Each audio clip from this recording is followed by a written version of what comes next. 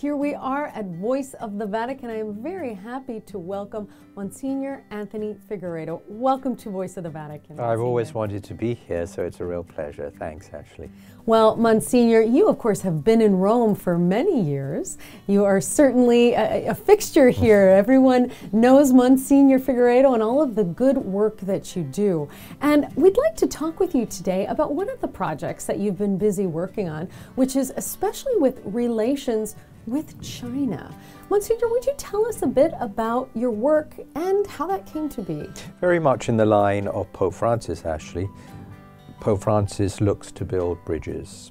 Prior to his pontificate, under Pope Benedict, in fact, the great earthquake in the south of China was an opportunity for the Vatican office dealing with charity, for which I worked, to go out to China. I was chosen to go out, and it was in the course of that disaster that God brought good. Mm. In fact, building a dialogue, building a relationship, particularly with the Chinese bishops, but also with the Chinese government.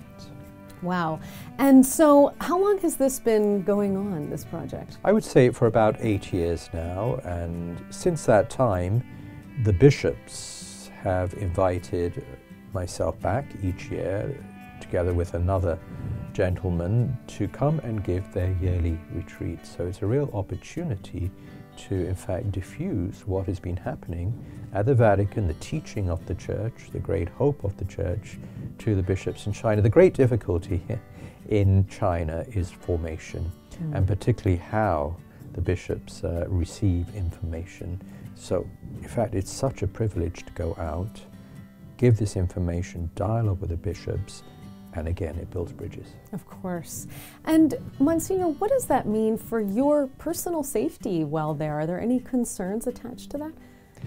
Particularly when we go out, uh, in fact, we are officially invited by the government and by the bishops, mm -hmm. but remember that China is 1.4 billion people, so one never knows sure. who one is going to meet on the roads. I was there this past summer and we went to one of the four Catholic churches in Beijing. Mm. And it's interesting just preaching in that church to many, many Catholics, both from the official church and the underground church. But again, I never know who's entering. It could be mm -hmm. a special agent, it could be a policeman.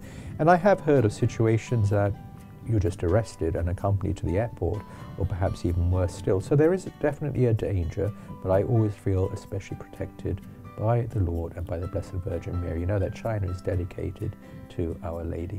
Hmm. Well, you're certainly in good hands then, that's for sure. So, Monsignor, of course, Christianity is growing in China, which is an exciting fact to know. And I imagine that the people with whom you're ministering or to whom you're ministering are just hungering for the faith. What are some of the messages that you share with them? It's a 24 7 nation, in fact. There's people on the streets mm. all the time. Mm. And I often think of St. Francis Xavier, who would say, I'd like to get all those students out of the Sorbonne or in the universities and go out and simply preach to these people to whom the good news of Jesus Christ has never been announced. Yes, Christianity is growing, actually, mm -hmm. uh, but part of the difficulty is that it's growing, particularly amongst non-Catholic churches. For us, that's a difficulty because of mm -hmm. the mm-hmm. Vatican-Sino relations. It's, it's kind of stymied the growth of the Roman Catholic Church.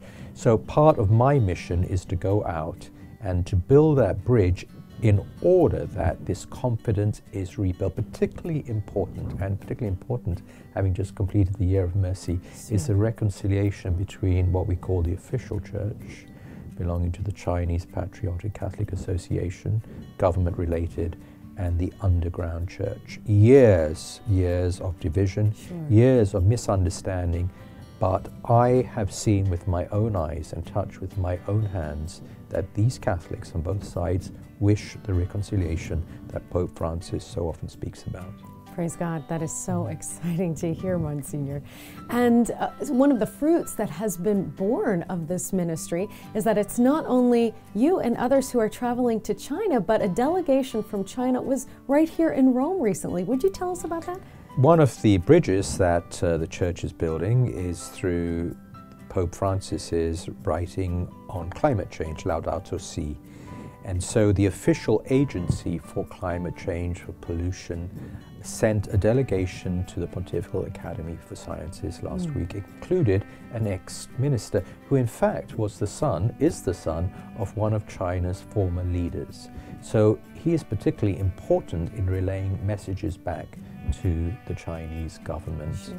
It's important because this is a typical area that we can share. We're all concerned about the environment. Obviously, we see it from a spiritual side. Perhaps the Chinese see it more from a materialistic side. But the common ground builds the trust on which relations can be built for the growth of the church and the good of people. Ultimately, we all wish the good of people. That's the business that the Catholic Church is in, right? Absolutely. We see person by person. Yes. And remember, a fifth of the world's population is in China. Wow. Wow, such an important ministry to reach out. And Monsignor, to find that common ground is such an important way to evangelize. It really is. And I believe it's the way Pope Francis, perhaps sometimes he's misunderstood, but his idea of the church as a field hospital is one I very much share. Mm. We need to bring people and meet them where they are first of all, before we are able to lead them step by step to embrace the full teaching of the church, which is ultimately good news. You know that often we talk, Ashley, about uh, the law of graduality and the graduality of the law. And what we are saying is we're not grading the law. We're not talking about situation ethics that the teaching of the church is different for each person. No, we present the full teaching of the church at an appropriate time, but we take people to that teaching step by step, particularly in moral issues. It was different in the past where society was largely Christian. We had the Christian family, we had the local parish, mm-hmm. we had mm-hmm. the Catholic school. So people received that, uh, that grounding. We don't have that today. So we're meeting people where they are and saying, yes, we understand that you haven't had this formation in the past, but we want to take you there little by little, step by step. It's such an exciting thought, especially as we have concluded this year of mercy.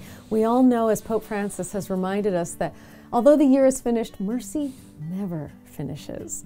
And in the example you just gave, Father, I think that's inspirational to all of us to reach out to those around us and accompany them step by step to bring them closer and closer to the faith because nobody can respond to something being thrown at them or, or shoved at them. So we have to do it in those small baby steps to which you're referring, Monsignor. One needs to look at the person in front of them. Mm -hmm. I mm-hmm. often recall what Saint Teresa of Calcutta would say. She said, would say that we need to love, we need to begin to love, and always starting with the person next to us. And it's always marked my relationship, particularly with three pontiffs who mm. I've known quite well St. John Paul II, Pope Benedict, and now Pope uh, Francis, that each person in front of them, it's as if you're the only one Beautiful. that matters. And uh, Imagine if all our relationships, I speak for myself, imagine all our relationships were like that,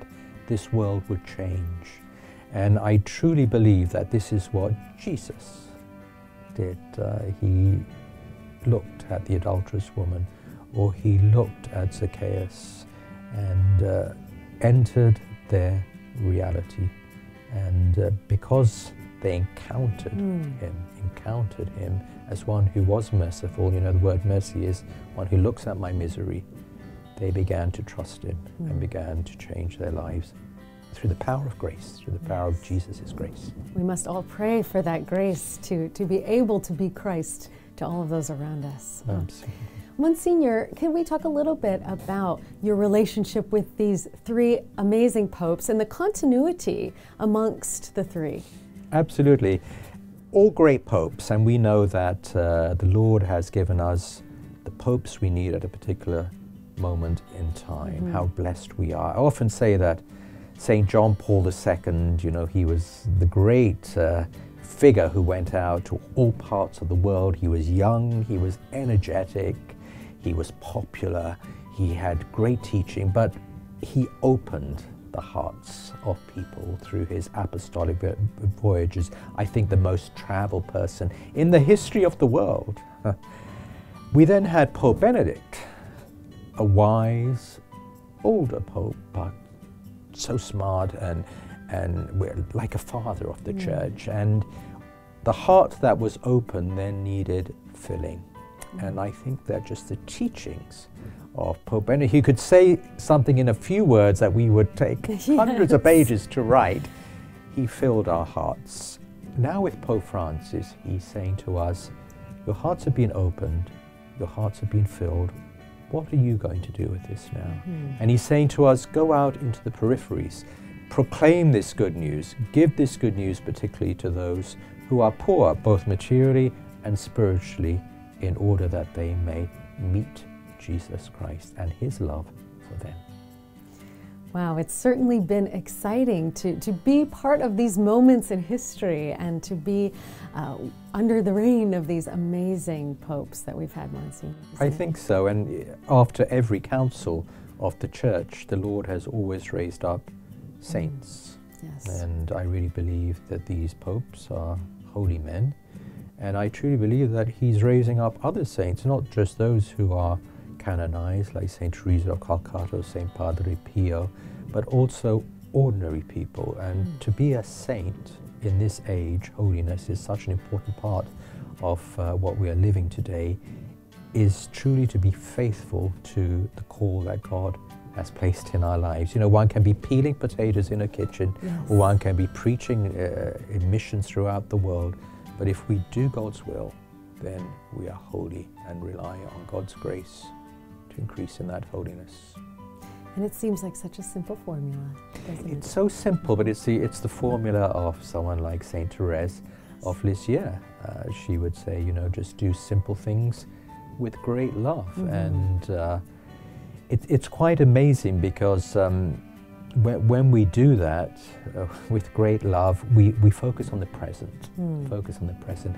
I often think that if we focus on the past, we focus on the future, we don't live the present, and it inhibits our freedom. Yes. Really to live in this moment, and it's part of original sin. You know that original sure. sin that uh, our fathers, Adam and Eve, they were always looking for another reality than the one in which God had placed them. It's amazing, isn't it? Because you have a beautiful garden, uh, you have all the fruits, everything, right. and you look, you, you're looking for something else. And I think that so often that happens in our married lives, in the priesthood, mm-hmm. in, in schools, our workplaces. And it's important to understand that know, God has put me here. Again, I keep going back yes. to Teresa of Calcutta, but Teresa of Calcutta would say, you know, to surrender each day. And she mm. said, if God puts you in a, a palace one day, she would say, well, accept to be in that palace. Not that you're looking for it, but right. accept to be there.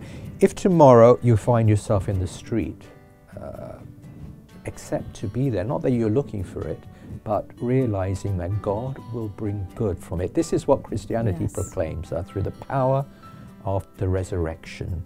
That uh, death never has the last word, tragedy never has the last word, and even the greatest tragedies in life, even the greatest sins, oh happy fault, yes. deserve so great a Savior. It's so true. St. Paul talks about how he learned to live with and without. And of course, we're called to, to be present in whatever reality the Lord has placed us because, of course, we trust that it's for a reason. Absolutely. You know, God's power is made perfect in weakness. And in fact, this whole time that we're living in with so many difficulties and so many sufferings and so many problems, you know, earthquakes and floods and mm-hmm. tsunamis, uh, we need hope. Yes. We need great hope that uh, God is powerful and God is in charge and that uh, He is never overcome by evil, but overcomes evil with good. Yes. Monsignor Figueiredo, who are some saints that have been especially influential to you, who've really touched your heart? In my bedroom, I have the relics of some hundred saints. Oh, how special! Including the blood of Padre Pio, the blood of St. John Paul II, the blood of, of oh. Teresa of Calcutta. Saints that have been very special to me, St. Francis Xavier. Yes. I stem from Goa, originally, and St. Francis Xavier brought the faith to Goa. And in, in a very simple way, uh, he would go into the villages and the, the, the, children who were uncatechized, he would ring a bell and they would run there and he would teach them just very simple prayers. And through that very, very uh, primitive form of preaching, he changed an entire yes. Landscape. And thanks to him, I am Roman Catholic. It, it's the typical case of one person can change a generation. Mm. So St. Francis is very, very special to me. I've just been visiting actually another great saint, mm -hmm. the founder of the Redemptorists, St. Alphonsus Liguori. Yes. And St. Alfonso Liguori from Naples, and uh, very beautifully, he too was involved in the great work of giving retreats, of preaching, the importance of the sacraments of the confessional. And particularly, I, I learned this in his in his uh, writings and also in his statutes for the Redemptorists mm -hmm. that uh, if someone does something wrong to us, that part of their statute is never to defend yourself mm. and allow God to uh, ultimately bring the justice from there. And it's tough, it but is. it's tough, but it, it really corresponds to the call of Jesus that we are asked to pray for our enemies, we're asked mm-hmm. to do good for them, we're asked to turn the other cheek, and we're asked to uh, go the extra mile. So these saints are particularly inspiring for me. Obviously, someone like St. John Paul II, who I knew personally, and Mother Teresa, St. Teresa of Calcutta. I always remember St. Teresa of Calcutta. I met her here in Rome many times and we corresponded, but I asked her once actually I, would just been ordained a priest maybe less than a year, and mm. I hmm. met her in Rome, and I was going through a little bit of a difficult time mm. in my hmm. priesthood. Mm-hmm. You know, the honeymoon was sure. over, as happens to all of us. And I asked Mother Teresa, how is it possible to be holy? Mm. How is it possible to be a saint? I never, I've never forgotten what she said to me. Hmm. She said, Father, if you have the desire, God will do the rest. And I thought about that and I said, yes, it's true, because with desire, you know, I could get the best grades at school or sure. I could climb the highest mountain, but do I have that desire to be holy? And I found that I needed to pray for the desire to desire that. Ah, yes. The desire to. And another occasion, actually, uh, you know, I was born just with one hand. It's uh, a period in the 1960s, uh, mothers were given a certain medication to help them sleep, and mm-hmm. many children were born with shortened limbs. And I wanted it from the mouth of a saint. Uh, why? Yes. Why? And uh, Mother Teresa, she looked at me and she took my hand, she took her hand, and she said, Father, you have a small hand, I have a larger hand, but in the eyes of God, they're both hands And how true it is, because even the most disabled person in the world, in the eyes of God, they are still a person. And she said, You know, Father, every night before you go to sleep, you need to pray the gospel of the five fingers. And I didn't ah. know what that gospel was at the time, but she told me it. She said, Take those fingers of your small hand and say to Jesus, You did this for me. the five fingers. In other words, this event, this fact, God will use for a greater glory, for which one day you will give thanks. Monsignor, what was it like to be in the presence of such holiness, of Mother Teresa of Calcutta, of Pope John Paul II? I mean, imagine that just being in their presence must have been heart stirring. Initially, one is overawed Yes. one prepares a whole discourse, or right. what am I going to say? But in fact, one finds oneself in front of someone who is very simple, who mm. knows you already mm. completely. And so, very often, you don't have to say anything.